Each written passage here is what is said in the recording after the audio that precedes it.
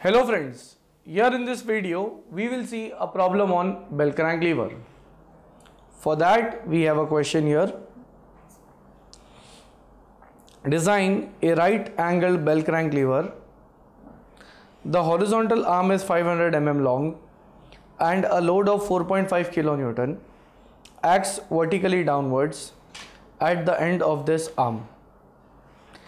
At the end of 150 mm long arm, which is perpendicular to the 500 mm long arm, a force P acts at right angle to the axis of 150 mm long arm.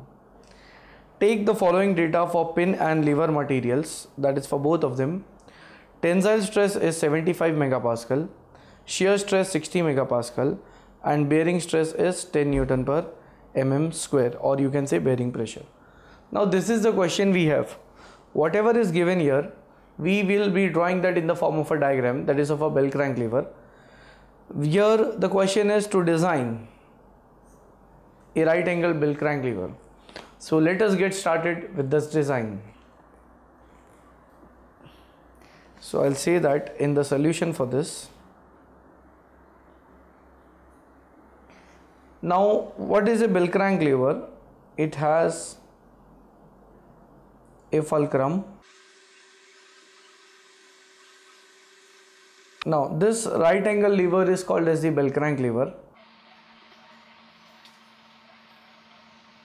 Next,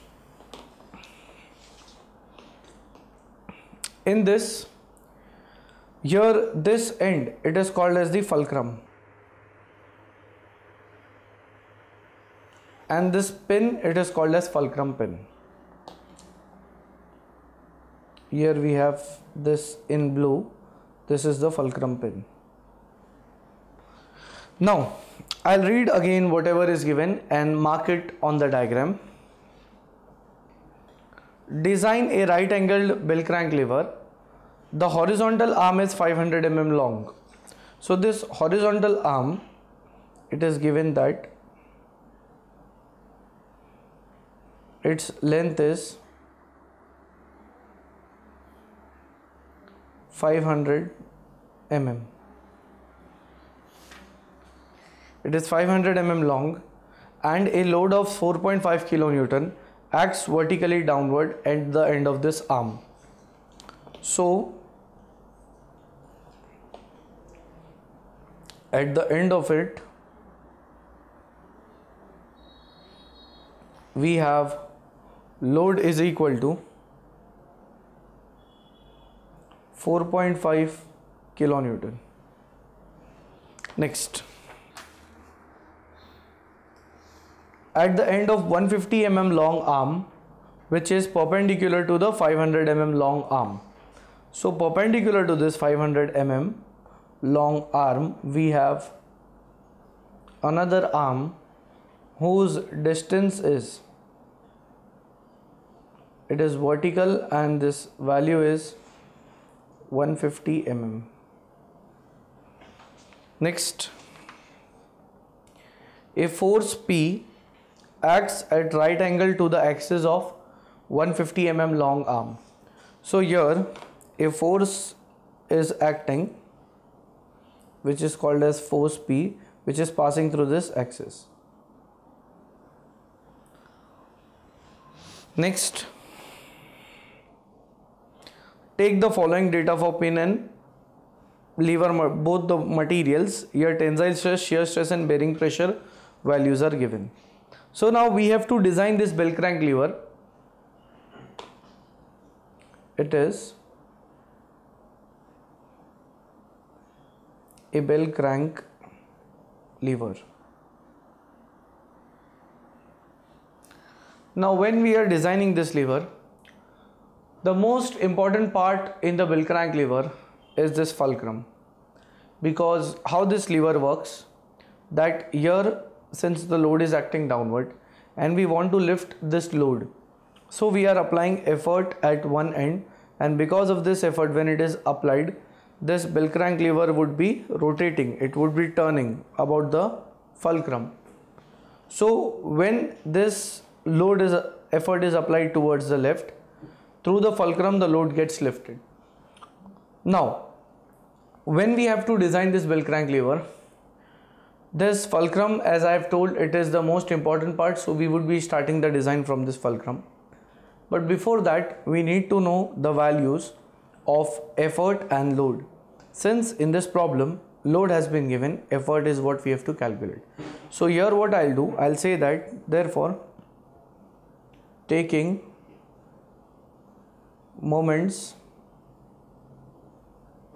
about fulcrum is equal to 0 that is for the equilibrium condition. I'll say that moments about the fulcrum they are equal to 0 for that I'll write down summation of moment about fulcrum is 0 here I'll take clock moment as positive and anti-clockwise moment as negative.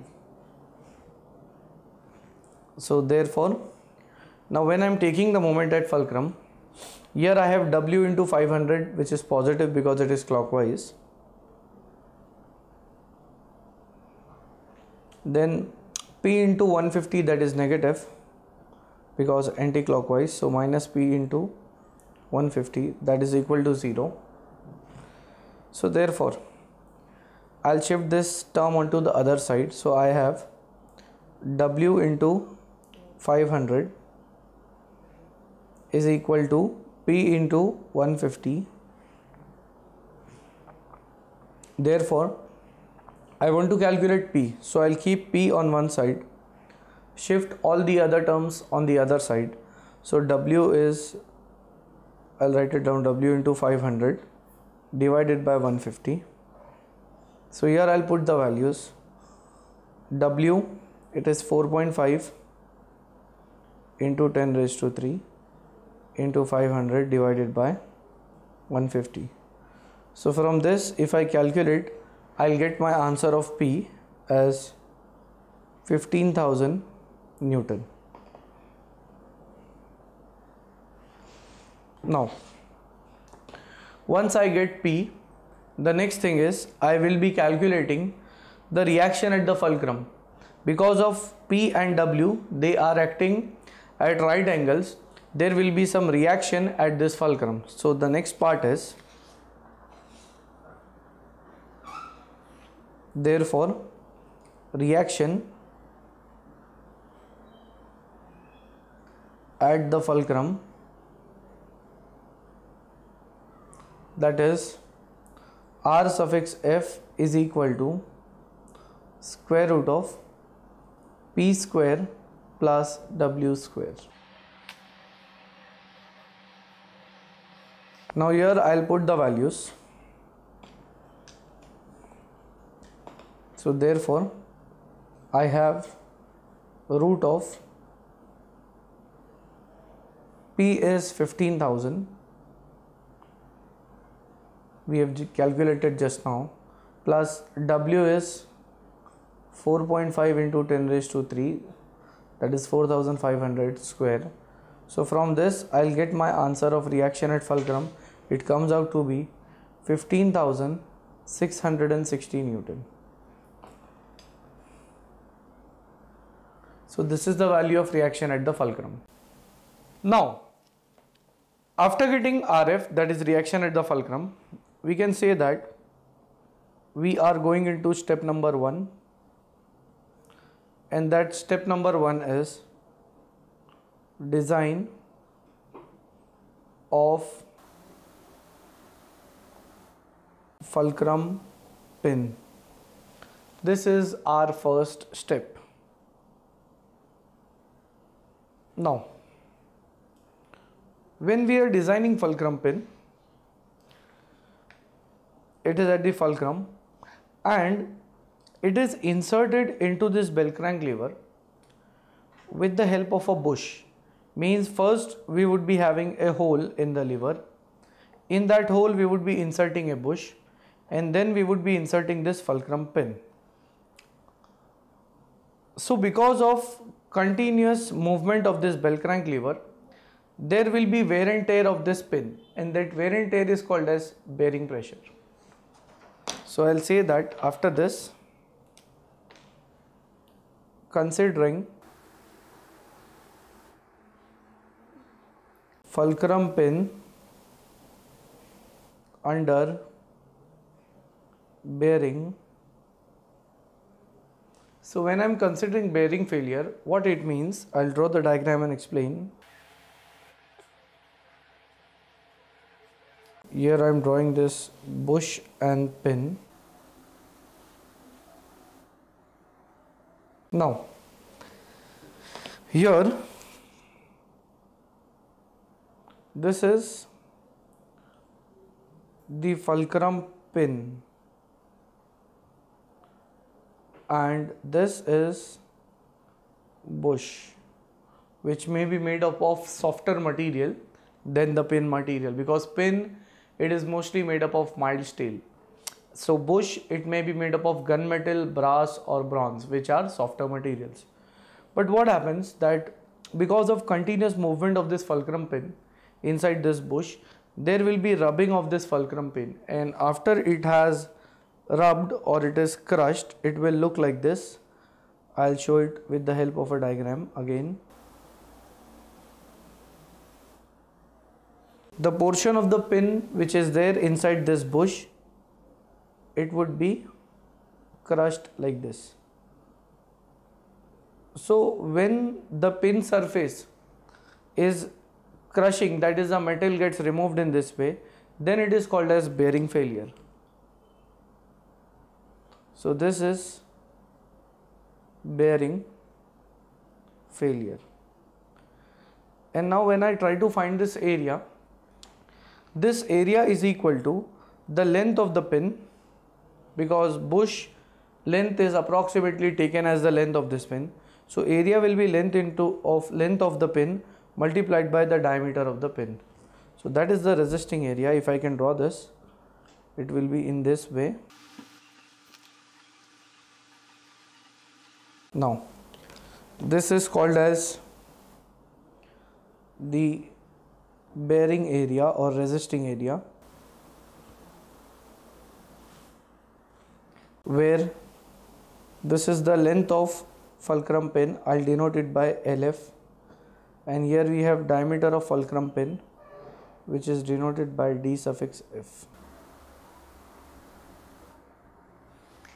So in this way the bearing of fulcrum pin takes place. So after this I'll say that therefore bearing strength of fulcrum pin that bearing strength can be calculated now when i'm talking about strength strength means the load and low, or we can say load carrying capacity and we want to find out the load carrying capacity of the fulcrum pin so the load on the fulcrum pin we have to know and that load is nothing but reaction at the fulcrum. Now that is equal to bearing pressure into area that is I can write it out resisting area multiplied by the bearing pressure. Now here since I know the values I can say that therefore RF we have got it is 15,006 it is 660 is equal to the area of the fulcrum pin which is subjected to bearing that is diameter of fulcrum pin multiplied by length of fulcrum pin into the bearing pressure. Next I'll say that therefore this is 15,660 is equal to diameter of fulcrum pin multiplied by length of fulcrum pin. This we can take it in the form of df i'll say that let lf be 1.25 times of df and bearing pressure it is given in the question. We can see here at last this bearing pressure is 10 newton per mm square so it is into 10 i'll say that let lf is equal to 1.25 times of df. So from this we are left with only df on one side and hence I'll get this as 15,660 is equal to df into df that will become df square into 12 1.25 into 10 that is 12.5 so finally df will be equal to square root of 15660 divided by 12.5 so from this I will get df is equal to it comes out to be 35.4 or we can round off this value. We can say that it is 36 mm so this is the diameter of fulcrum pin now once we have diameter of fulcrum pin after this I can say that therefore since LF is equal to 1.25 times of DF so it will be 1.25 times of 36 and hence length of fulcrum pin that comes out to be 45 mm. Now here we have designed the fulcrum pin that is we have calculated how much would be the diameter of fulcrum pin and the length of fulcrum pin. Next I will consider the fulcrum pin under shear and calculate the amount of shear stress it is subjected to. I'll say that now considering fulcrum pin under shear. See how it is under shear? Because when the load is acting there are chances when this lever is moving this pin it can break into two parts. So now I'll say that therefore when it is considered under shear the area of the pin it will look something like this that is the pin will break into three parts. And here this is the failing area. So now this is fulcrum pin under shear. That is it will break into three parts. And that is called as double shear so now therefore resisting area capital A is equal to pi by 4 if I consider df as the diameter of fulcrum pin so pi by 4 into df square multiplied by 2 why am I, I am multiplying by 2 because this is a case of double shear next I'll say that after resisting area therefore shearing strength of fulcrum pin it is given by since we want to calculate strength strength means load carrying capacity and at the fulcrum the load is reaction at fulcrum RF and we want to calculate the shearing strength. So it is RF is equal to shear stress tau multiplied by area which is the resisting area. So therefore RF it was 15660 shear stress we will calculate. Area it is pi by 4 into df which we have calculated was 36 into 2 now from this I'll get the value of shear stress if I calculate left hand side divided by right hand side my answer comes out to be 7.7 Newton per mm square. Now this value of shear stress which we are getting 7.7 it is less than the value which is given in the problem that is 60 so it means this fulcrum pin will not fail under shear. So I'll say that since tau this is the value which we have got it is less than tau permissible. And the permissible value was 60 Newton per mm square. Therefore, fulcrum pin is safe under shear. So with this we complete step number 1 that is the design of fulcrum pin. Next after this see how we can adjust the dimensions in design. The load at the fulcrum pin that is called as RF. This is having value of 15660 and effort is having the value of 15000. So almost the value is same. So whatever dimensions we are fixing for the fulcrum end same dimensions we will fix at the effort pin also. So this is the use in design. So I'll say that step number 2 design of effort pin here I can say that since effort P is equal to 15,000 Newton and it is close to the dimensions of or we can say the reaction at the fulcrum. So therefore keeping same dimensions of effort pin as fulcrum pin. So the dimensions we are fixing them same. So I'll say that let d1 be the diameter of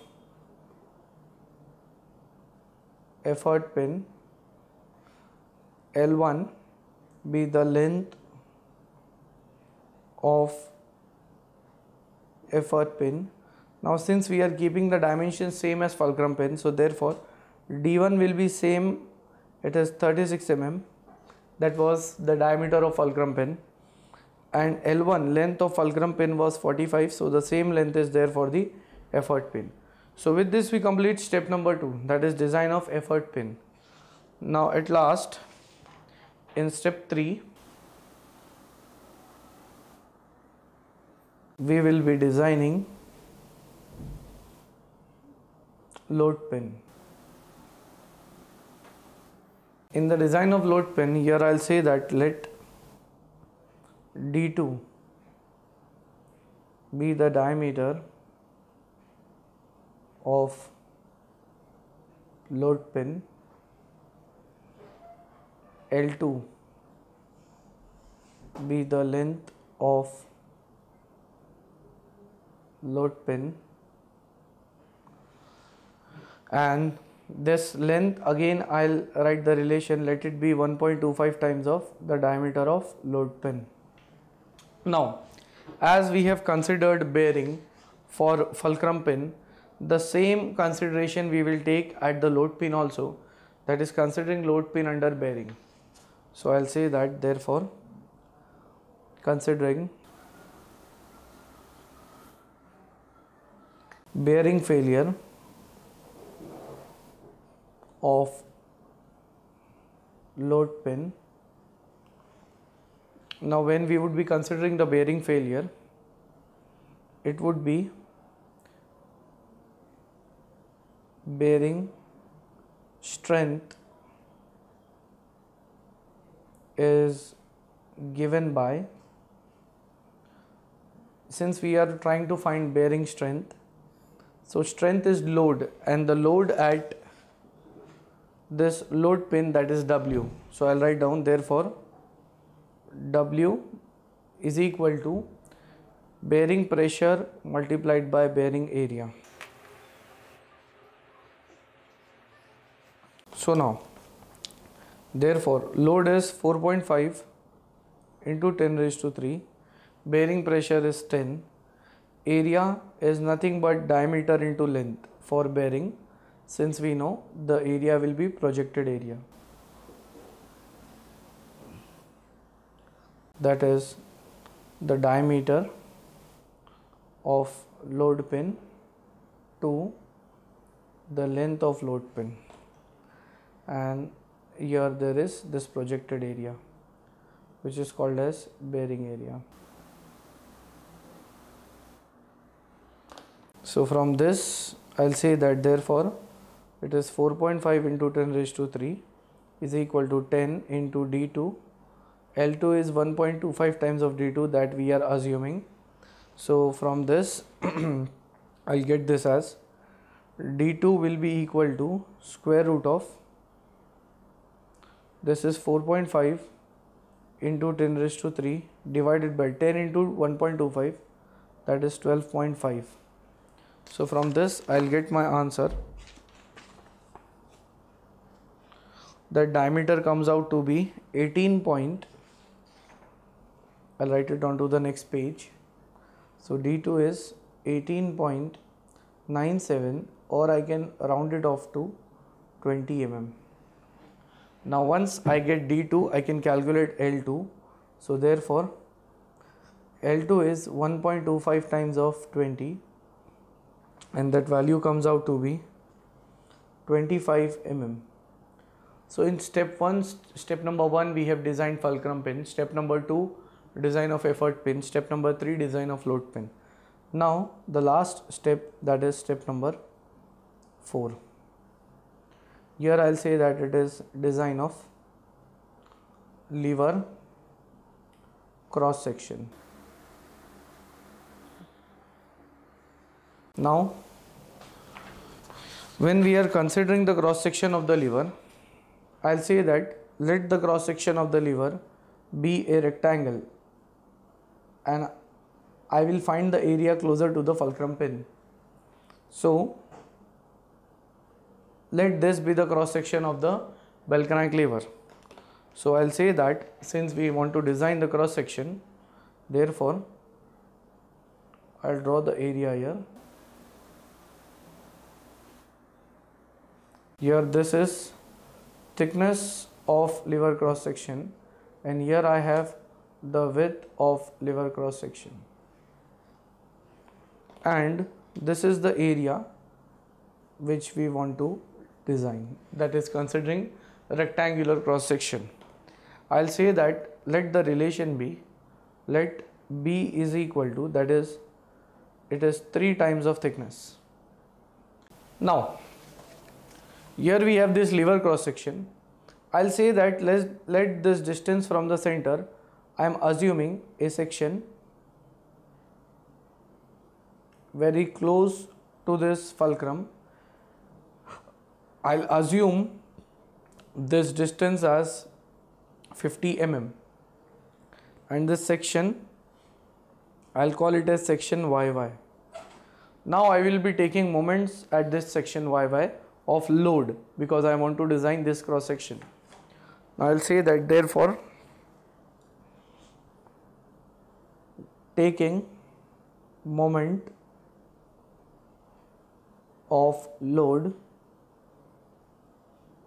at section yy so therefore that moment will be equal to w multiplied by the distance and that is the lever length which is equal to 500 minus 50 this I'll explain I'm I want to take the moment here at this section. The total distance from the center up to the load is 500. I am taking this distance from the center to section YY is 50. So from 500 if I subtract 50 this is the distance between load and the section Y. So therefore M is equal to 4.5 into 10 raised to 3 value of load into 450 so this comes out to be 2025 into 10 raised to 3 Newton millimeters.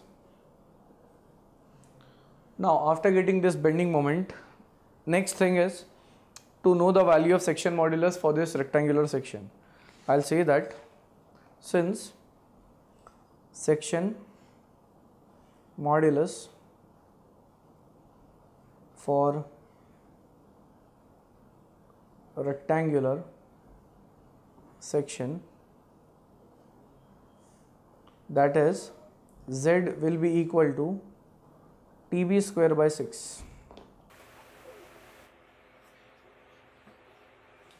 this value we have got because we are considering a horizontal axis called as xx and I will calculate section modulus over this section. So how it came that is z is equal to ixx upon y. Now ixx was if I calculate moment of inertia about horizontal that is b that is t b cube by 12 and y is nothing but b by 2 because it is the distance from x axis to topmost fiber. So from this if I get here I can say that therefore z will be equal to tb cube by 12 into 2 by b so it is tb square by 6 so in this way we are getting this section modulus. Next here I'll say that let b is equal to 3t that we have assumed divided by 6 so therefore z value comes out to be 1.5 into t cube. Now after getting this section modulus I can say that hence bending stress sigma b it is equal to m by z bending moment upon section modulus.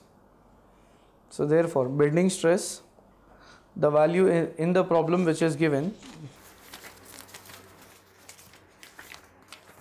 Now, here bending stress is not given in the problem, but tensile stress is there 75 megapascal. So we can take bending stress as equal to tensile stress. So I'll take the value as 75 because they are principal stresses. So 75 is equal to M.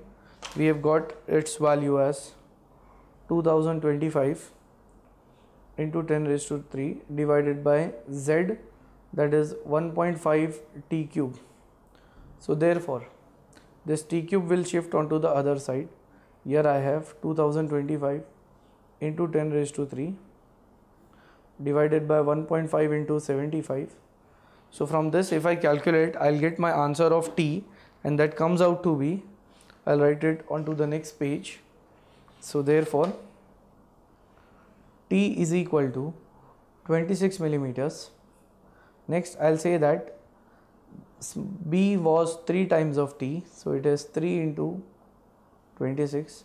So hence, my answer of B, it comes out to be 78 mm. So these are my final answers. It means the cross section of the lever, which is rectangular in shape, it will have the value of thickness and width your T is equal to 26 mm and B is equal to 78 mm.